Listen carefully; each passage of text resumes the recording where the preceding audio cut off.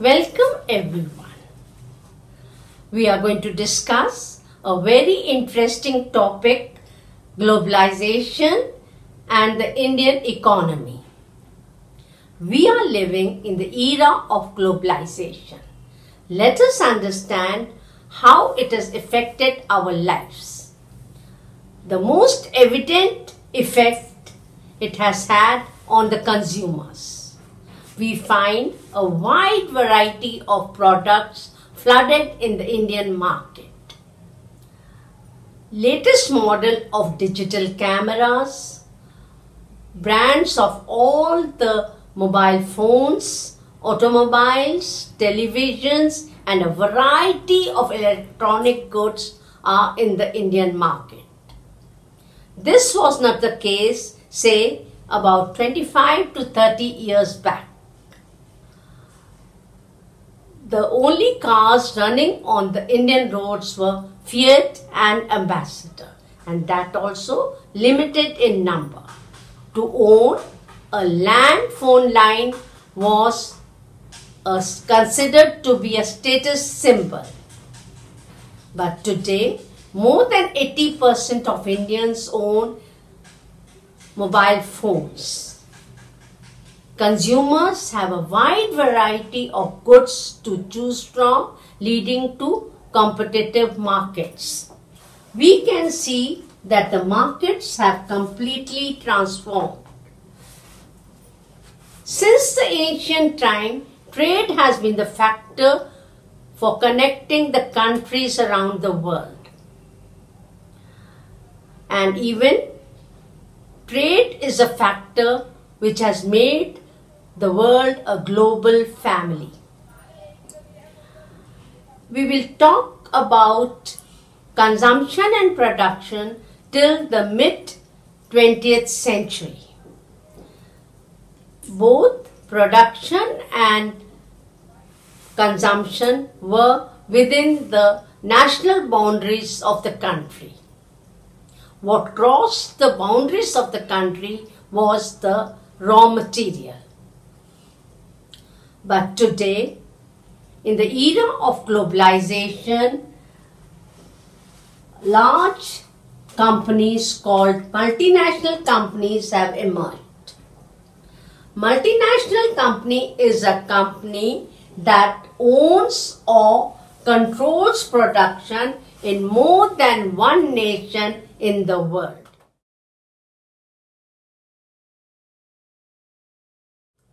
MNCs want to earn great profit. So, in the process, they set up production in the regions where there's availability of cheap labor and other resources. In the process, goods and services are produced globally and so production is organized in a very complex way. We will understand this by the following example.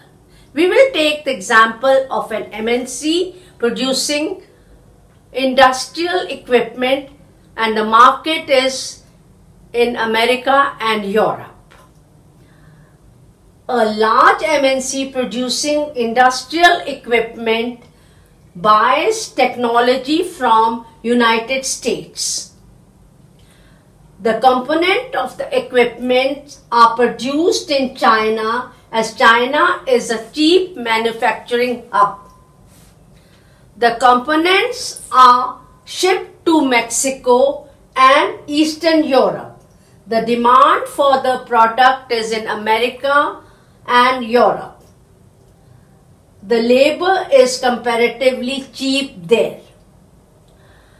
To coordinate the production which is taking place at different places, India is chosen for the task of customer care. As there are a large number of English speaking people in India and they are also highly qualified engineers who can understand the technical aspect of production.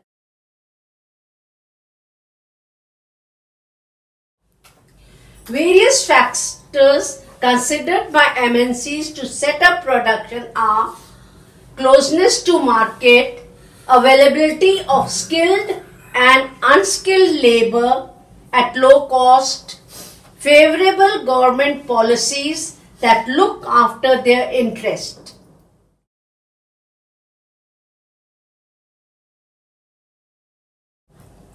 MNCs apply various methods to set up production across countries or interlinking production across countries. One method is to collaborate with the local producers and start joint production. The question that comes to mind is that why do local producers join up with MNC?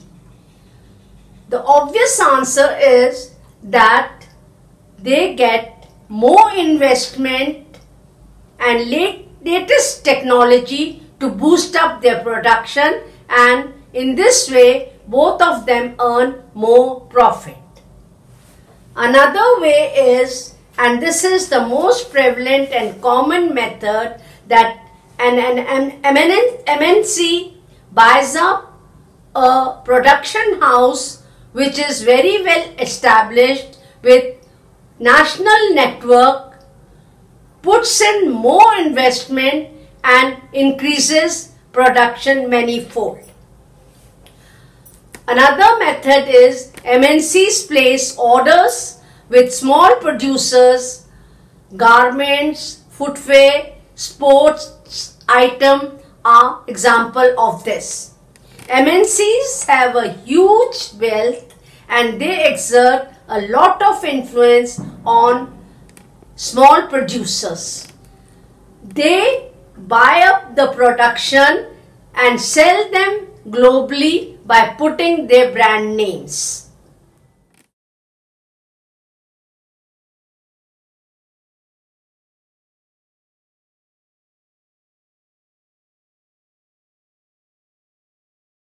We will take example of Ford company in interlinking market at widely dispersed places. Ford, an international automobile company, had production spread in 26 countries around the world, came to India in 1995. It spent rupees 1700 crores to set up plant near Chennai collaborating with Mahindra and Mahindra. By 2004, Ford was selling 27,000 cars in Indian market and 24,000 cars were being exported to South Africa, Mexico and Brazil.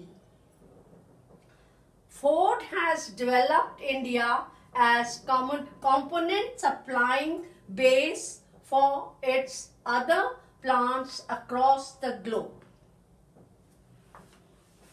Thank you friends for watching my video. Please do comment, share and like my video.